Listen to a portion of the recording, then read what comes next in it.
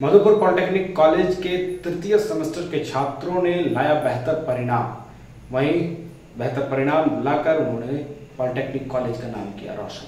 झारखंड सरकार द्वारा स्थापित एवं ओ द्वारा संचालित मधुपुर पॉलिटेक्निक के झारखंड प्रौद्योगिकी विश्वविद्यालय जे की ओर से आयोजित तृतीय सेमेस्टर का परिणाम बुधवार को घोषित कर दिया गया, जिसमें मधुपुर पॉलिटेक्निक के छात्र छात्राओं ने उत्कृष्ट प्रदर्शन करते हुए कॉलेज का मान बढ़ाया है।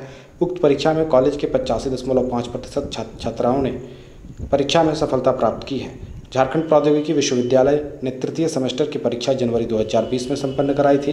पॉलिटेक्निक कॉलेज में लगातार कई वर्षों से अच्छे परिणाम आने से अभिभावकों, विद्यार्थियों एवं समस्त कॉलेज परिवार के बीच हर्ष का माहौल बना हुआ है। कॉलेज के प्राचार्य कन्हैया प्रसाद उप प्राचार्य डॉक्टर आर सिन्हा, परीक्षा नियंत्रक व कंप्यूटर इंजीनियरिंग के विभाग अध्यक्ष प्रोफेसर विवेकानंद मंडल ने सभी छात्रों को बधाई देते हुए उनके उज्ज्वल भविष्य की कामना की। मौके पर प्राचार्य कन्हैया प्रसाद ने कहा कि जिस प्रकार विद्यार्थियों ने कॉलेज का मान बढ़ाया है, उसी प्रकार आगे भी अपना बेहतर प्रदर्शन करते रहें।